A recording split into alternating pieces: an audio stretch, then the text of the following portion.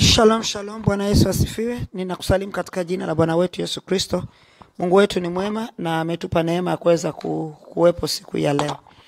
Uh, ninakukaribisha katika tafakari yetu ya siku, na siku ya leo tunao tafakari kutoka kwenye kitabu kile cha Hosea, Hosea um, sura ile ya sita mstari ni ule wa kwanza. Hosea sura ya sita mstari ni ule wa kwanza. Njoni tumrudie Bwana, maana yeye amerarua na yeye atatuponya. Yeye amepiga na yeye atatufunga jeraha zetu. Baada ya siku mbili atatufufua siku ya tatu. Atatuinua nasi tutaishi mbele zake. Nasi na tujue, naam, tukauendelee tukaendelee kumjua Bwana. Kutokea kwake ni yakini kama asubuhi, naye atatujilia kama mvua, kama mvua ya vuli inyeshayo inyweshayo nchi. Bwana Yesu asifiwe. Uh, tunamshukuru Mungu kwa ajili ya siku hii nzuri. Tafakari yetu inatupa kujifunza kuhusiana na kumrudia Bwana.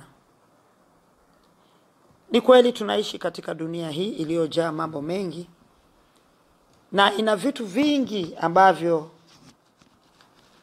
ukivitazama hasa kwa siku ya leo, kwa maana nyakati hizi za leo,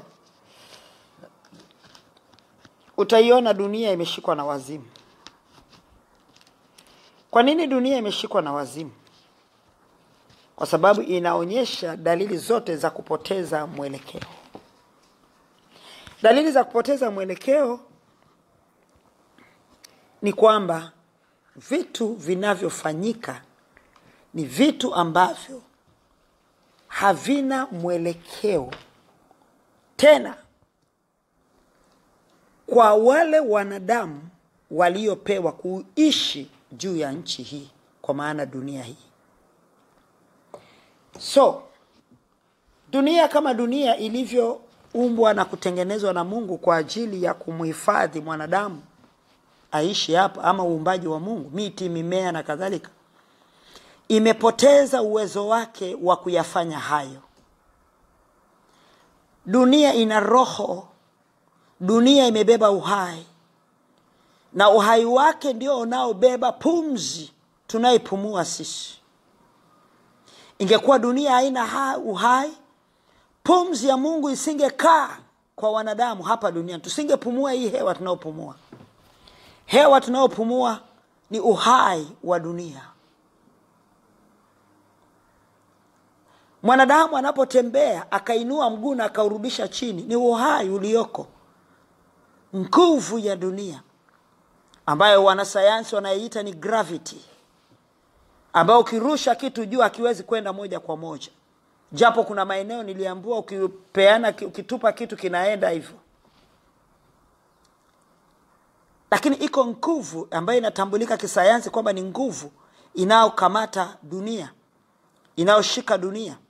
Ndio ukirusha kitu, ukiruka juu utarudi chini, ukitupa kitu juu kitarudi chini, kwa sababu ya uhai ulioko katika dunia hii ama unaoibeba dunia hii kuishi, ili kuweza kumbeba mwanadamu aweze kuishi kwenye dunia hii, azungumze. Hata kama hivi ninavyozungumza, ni uhai ulioko kwenye dunia unanipa mimi kusema na sauti inaenda. Otherwise ningetoa maneno isingeenda ikafika mahali maneno haya Yako mambo mengi ambayo ukiyatazama unaweza ukanielewa hiki ninachokisema, japo siwezi kusema kwa mapana kwa sababu muda haunitoshi. Lakini ninachotaka kusema ni nini? Ninachotaka kusema ni kwamba dunia imepoteza uwezo wake wa kubeba uumbaji wa Mungu ambao umepewa kuishi na kukaa kuikalia dunia hii. Na hii ni udhihirisho ya kwamba dunia sasa imefika mahali imepoteza ule uhai ambao kwa maana niseme nitoe mfano wa mwanadamu. Naweza nikautolea mfano kamili. Uumbaji wa wala sio mwanadamu mnyama mti hivyo. Unaona mwanadamu atazaliwa atakuwa mzuri atabeba nguvu. Fahamu utafanya kazi. Mwili utakuwa mzuri. But anavyoendelea mwanadamu huyu kukua na kuishi na kuendelea katika dunia hii pamoja na kwamba atakula vizuri kiasi gani lakini kuna kitu kinaitwa umri muda wakati unaenda ukizunguka na kukupeleka wewe mwanadamu ama uumbaji ambao uko ndani ya dunia hii kuelekea mwisho wake. Miti inaendeshwa na uhai wa dunia ambaye mungu ameweka pumzi yake kwenye dunia hii ili tuweze kuhifadhiwa humu sisi tulio uumbaji wake. Ndio maana tunavyoendeshwa na dunia inavyoenda na inavyofika mahali pa kuelekea mwisho inatupa tafsiri ya jinsi gani mti ama mmea unavyoendelea kukua unashamiri. Mti ukiwa ni kijana mti ukiwa uko kwenye levo ya kijana utaona mti umeshamiri vizuri matunda yatakuwa yanazaliwa ni mengi. Matunda yatakuwa ni mazuri. Majani yatakuwa ni kijani. Mti utaonekana una afya. Mmea huo utatamanisha kama jinsi kijana anavyoweza kutamanisha. Lakini ataendelea atafika kwenye umri wa kati. Ataendelea kuwa stable. Utakuwa ni mti wa kutegemewa. Sababu wakati mti ulipokuwa unaanza kutoa matunda ulitoa matunda lakini inapofika umri wa kati mti unatoa matunda ya kutegemewa. Kwa hiyo mti unakuwa umekuwa strong enough.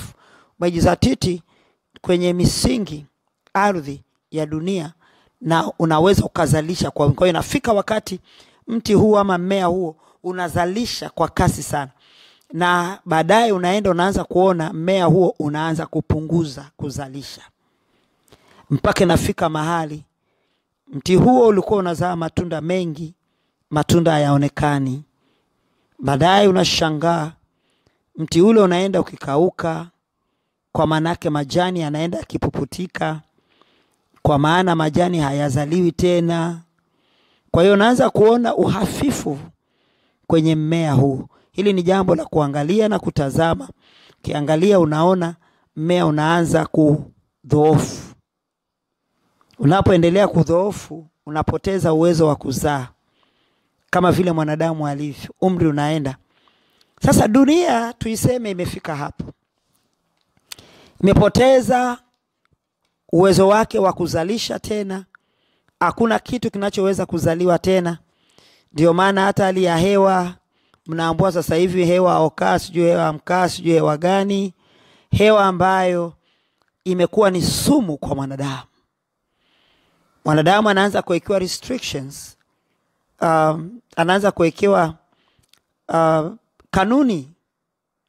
Hiki msitumie hiki. Mara ya plastiki anaharibu hiki mara hiki inafanyika hivi mara hiki kinafanyika hivi mara kwa hiyo inatokea kwamba sheria zinaanza kutungwa za kudhibiti mambo fulani fulani ili kuinusuru dunia iendelee kuwepo. Lakini ukweli ni kwamba mwanadamu hata ukajitahidi vipi huwezi kuifanya dunia ikaendelea kuwepo kwa sababu kama jinsi mwanadamu aliandikiwa kufa na dunia iliandikiwa mwisho wake. Ndio anasema katika waraka wa petro um, anasema kwamba mti I mean, dunia hii imewekwa kwa akiba kwa moto. Na wakati wake utakapofika uh, petro alifunuliwa ya kwamba wakati utakapofika dunia itakunjwa kunjwa kama karatasi. Anasema na vitu asili. Vitu asili sasa ndo tumezungumza habari ya mimea tumezungumza uumbaji wa Mungu, tumezungumza maisha. Kwa hiyo tunaona kwamba kila kitu kinaanza kufikia mwisho, kwa maana ulimwengu ama niseme dunia hii inaenda mahali ambapo haina tena matumaini, haina matumaini tena ya kuwepo na aidha kuishi, kwa sababu wakati wake unafika mwisho. Anasema kwenye waraka wa pili wa Petro sura ya tatu. Ni habari ndefu, sitazungumza kote huko, ila anasema mstari wa tatu, mkijua kwanza neno hili ya kwamba katika siku za mwisho watakuja na dhihaka zao watu wenye kudhihaki, wafuatao tamaa zao wenyewe, na kusema, iko wapi ahadi ile ya kuja kwake? Kwa maana tangu hapo babu zetu walipolala, vitu vyote vinakaa hali hiyo hiyo tangu mwanzo wa kuumbwa, maana hufumba macho yao wasione.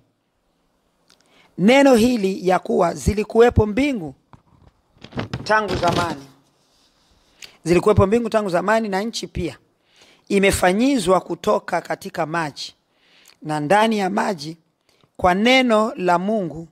Kwa hayo dunia ile ya wakati ule iligarikishwa na maji ikaangamia, lakini mbingu za sasa na nchi zimewekwa akiba kwa moto, kwa neno lilo hilo, zikilindwa hata siku ya hukumu na ya kuangamia kwao wanadamu wasiomcha Mungu. Lakini wapenzi, msilisahau neno hili kwamba kwa Mungu, kwa Bwana siku moja ni kama miaka elfu na miaka elfu ni kama siku moja.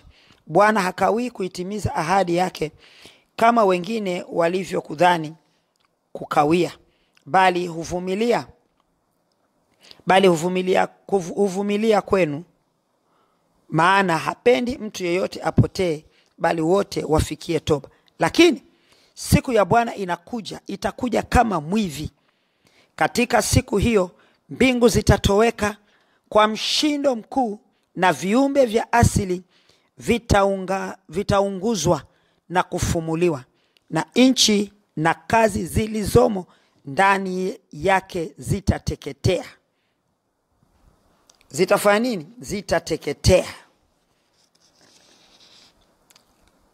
Na nchi na kazi zilizomo ndani yake zitateketea. Sasa nchi ni wapi? Mungu aliumba mbingu na nchi. Nazungumza habari ya ulimwengu huu, nazungumza habari ya dunia hii akaayo mtu, itakunjwa kunjwa kama karatasi. Anasema takunjwa kunjwa kama karatasi.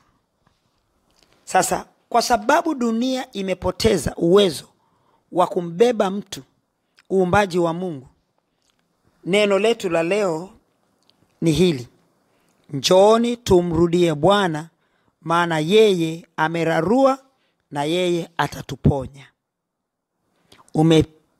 Umegandamizwa kwa kiasi gani na adui Shetani? Kumbuka kwamba huna sababu ya kuendelea kuegemea kwenye dunia, maana dunia imefika mahali sasa inachanganyikiwa, kwa sababu inaelekea mwisho wake na haitaki kufika mwisho wake. Kwa hiyo inaendelea kudanganya watu. Usidanganyike na dunia. Anasema yeye amepiga na yeye atatufungua, atatufunga jeraha zetu. Haya ndiyo maneno ambayo yanaweka msisitizo kwenye maisha yetu. Tumgeukie Bwana, tumrudie Bwana, kwa sababu hakuna tena mahali pa kushika. Mihimili ya nchi imeanza kutikiswa, na mihimili ya nchi kutikiswa, tunaona hali halisi ya ubinadamu inavyokuwa. Mwanadamu ameshindwa kusimama tena kwenye nafasi yake. Moyo wa mwanadamu haupo tena wa kumpenda mwanadamu. Mwanadamu amerudi kule mwanzo, mahali ambapo Mungu alisema najuta kumumba kumfanya mwanadamu, maana yeye ni kama nyama. Yeye ni nyama tu maana utu umeondoka. Ukiangalia leo utu umeondoka hakuna utu tena. Kila mwanadamu anaangalia na kuwaza namna gani amwangamize mwanadamu mwingine.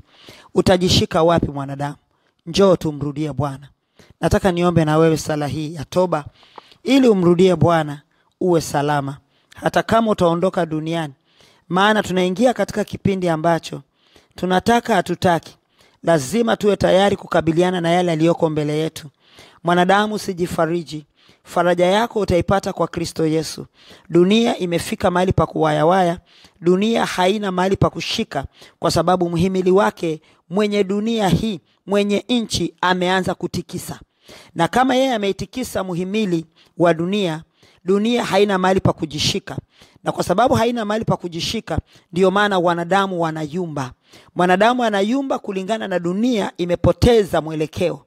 Na kwa sababu imepoteza mwelekeo mwanadamu anatakiwa achue ni wapi pa kujishika. Na neno lako leo ni hili tumrudie bwana. Tumrudie bwana.